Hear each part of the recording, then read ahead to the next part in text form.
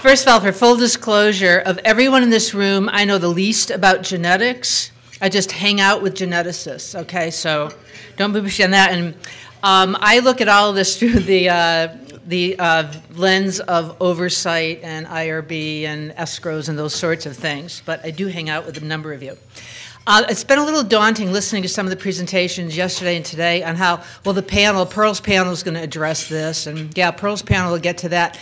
Um, I hate to disappoint, but um, our panel um, is Erwin, David, David, and Dan. These are the four smartest people here. The rest of you failed. Um, and what I'm going to do is just start us off with a few comments, and then actually um, David Chambers is going to go second because he has a, another meeting he has to go to. So the, this was a title, obviously, and I put up here the little stile. And I think that you know, not only the political environment, but things are very polarized. And I think we, you, everyone here needs to sit back and realize how polarized. And when I was doing early on um, ECMO therapy, you know, one of the very smart men said to me, okay, the difference between clinical care and research is you get paid for doing clinical care and sued for not doing it, but this research, you don't get paid for doing it and you get sued for doing it. And I think you know, this is obviously way too black and white, but I do think it's important to sit back and say, what are the boundaries? I mean, we're talking about navigating, who are the boundaries? I think, first of all, purpose. You know, research is not for the individual. Um, and in fact, you know, your decision making is to get group data, not for, you know, me, Pearl, as a patient. Whereas clinical, obviously, is individual focused. I think as an aside, pediatricians make great geneticists because it's a family much more than it is just the, you know, the child. The type of information, and again, this is very, being very black and white, and I realize reality is more in the gray, but research data, discovery, it's interesting, it's not yet ready for prime time, is the usual response to that. Clinical, I think clinicians probably are overly accepting that what, they, what they're receiving from labs is truth. But they do have this concept if I get a blood sugar of 300, something's wrong. Whether I'm in Boston or Detroit, something is wrong and I know how to act. Rules of engagement. With research, it's an add on. You do have some degree of oversight, um, be it the, the IRB, uh, which is either going to do the common rule if you're doing an FDA regulated product, FDA regs. Um, IRB will determine whether or not you need consent or if it's a waiver situation. Whereas opposed for research, for clinical care, there's been a lot of comments regarding consent we do not get very much consent. At the end of coming into the hospital and promising you're going to pay, there's oftentimes a little thing, yeah, and they can do things to me, and oh, by the way, if there's leftover tissue, you can photograph it and do this and that. Um, some clinical procedures we get consent for. And my favorite is our surgical consent, where just, you know, they just told you how you, if you don't die from the surgery, you're going to die from the anesthesia, and oh, by the way, if there's something left over, can we use it? So I don't think we really have a robust system for even getting clinical care, and a huge variety between institutions. The other issue are the people who live on the different sides. We have extreme researchers who um, don't even know that blood comes from a person. Um, I mean, I can't begin. Why would any care? Anyone care? It's just blood. It's just DNA. I mean, it's just, you know, believe me, we get these. We also have, I think, a very large and growing population of people who are on the extreme of clinical care, be it clinicians, be it payers, be it your medical record IT people, and certainly administrators, who often have very little, if any, training in what research is. And they can recognize a researcher through binoculars at a distance, but they've never met one. And luckily, and I think where we have to focus are in the straddlers. These are not stragglers, they're straddlers. Um, and I suggest that if you Google a picture for straddling, and it's really, it's porno sites that come up. I tried, but that's why you got the stile and the fence. I couldn't find one.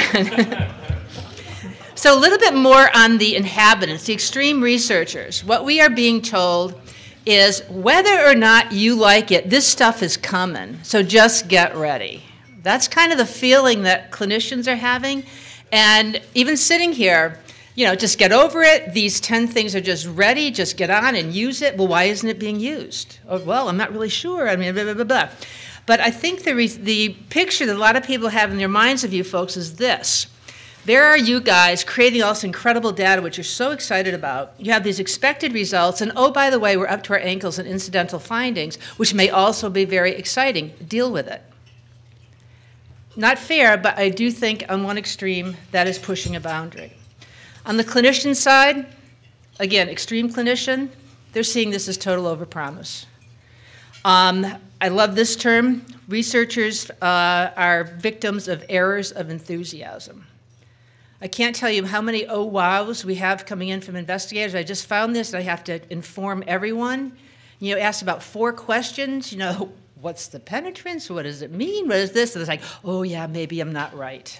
And you know, off they scurry back until the next week.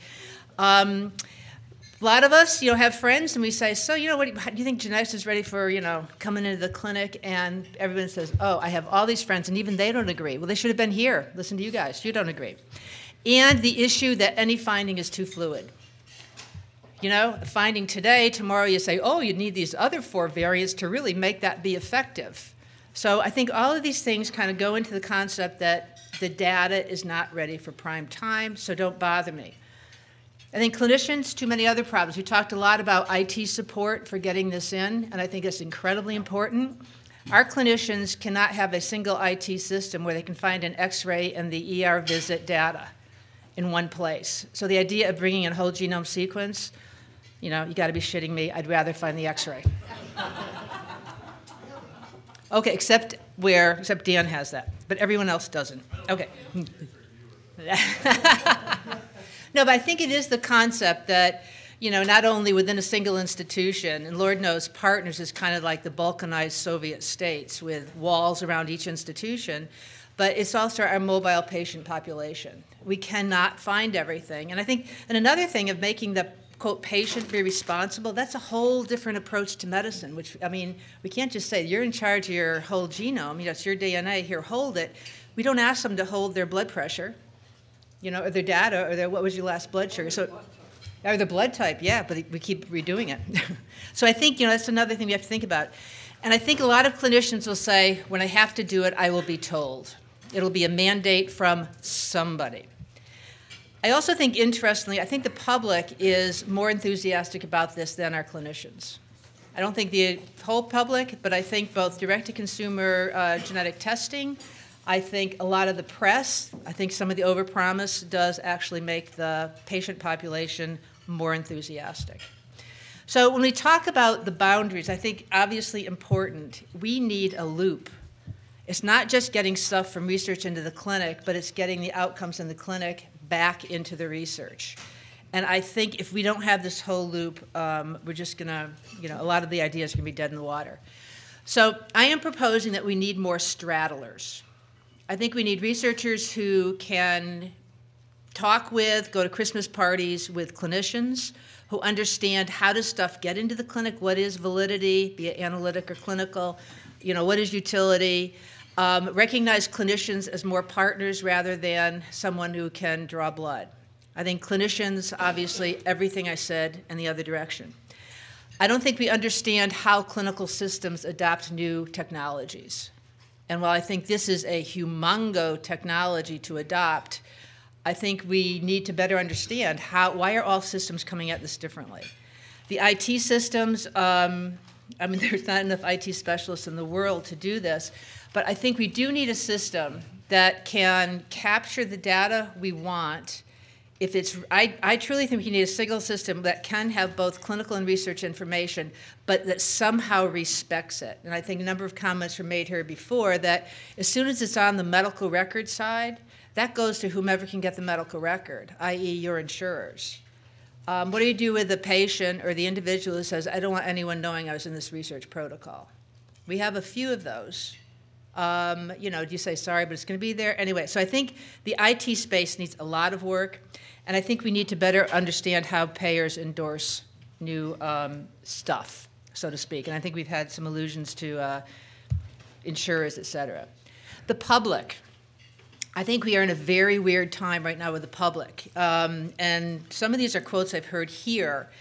Um, a lot of people are saying, why do those IRBs always insist on all those consent forms for every time there's a new thing, another consent form? And my patients are saying, just use my stuff, you're harassing me with all these consent forms.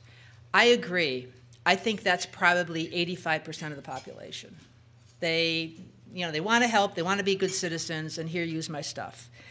But there is, I think, an increasing what I call more egocentric model. And I think the um, activities that have supported this have been the Havasupai situation, um, the Henrietta Lacks, uh, Immortal Life of Henrietta, Henrietta Lacks book that came out, and look what's happening with neonatal blood spots.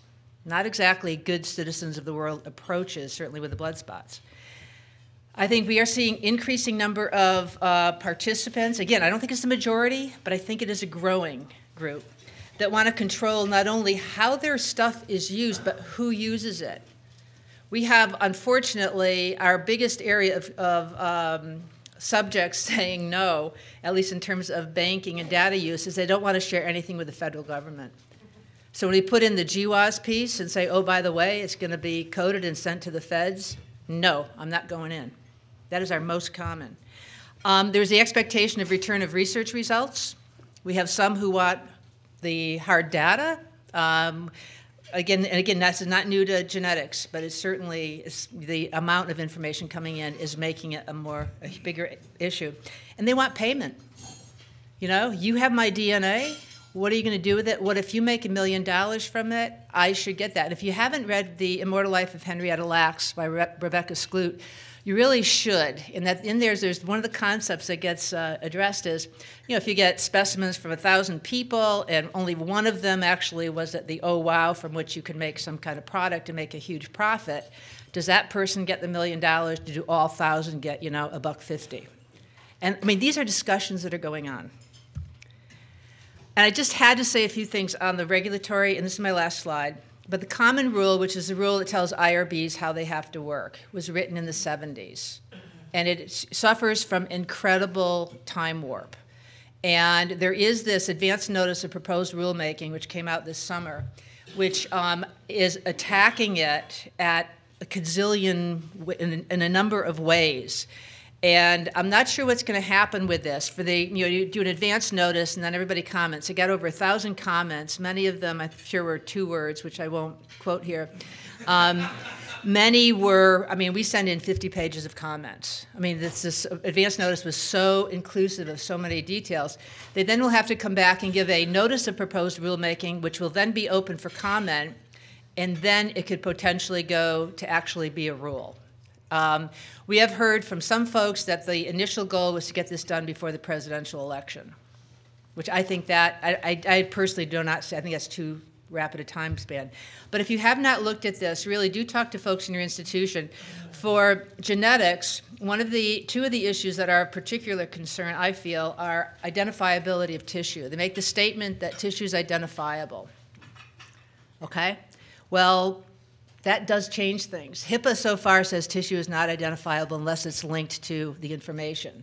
It will not take HIPAA long to realize this one, and this opens up a whole new world.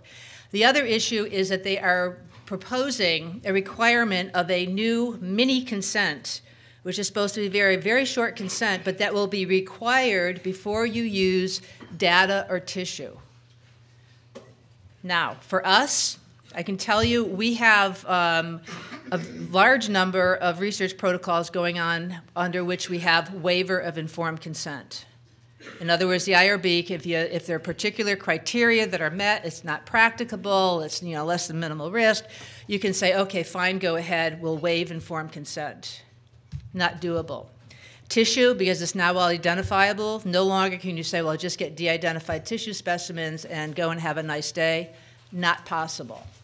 So if this actually were to go through in the way it currently sits, it would be a huge change, require huge changes for, for all of us. Um, and anyone who wants to know more about this later, I'd be happy to tell you. There's, they do one good thing, but that's it. Um, lack of standardization between the common rule, FDA regs, and HIPAA. We have to work with different definitions of identifiability. Um, there's others also. Lack of guidance from the feds on, quote, genetics. This has really driven IRBs nuts.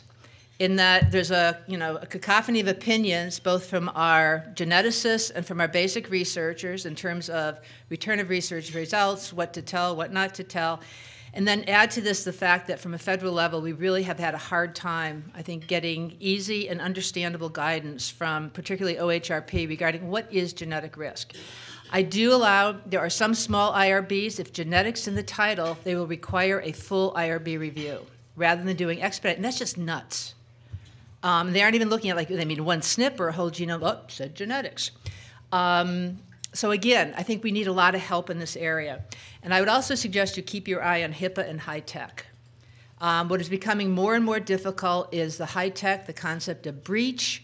There are suggestions out, there's proposals in here that are, have been recently put out by the Office of Civil Rights, which oversees HIPAA, um, that every time anyone goes into a chart, you have to document who went in, even for care even for research within your own institution, so that I, as a patient, could come back and say, I want to see everybody who's been in my chart.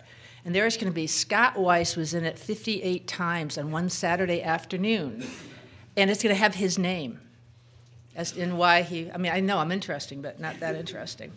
So I just wanted to kind of put out, I think, the importance as we talk about navigating the boundaries. We got to know what the boundaries are.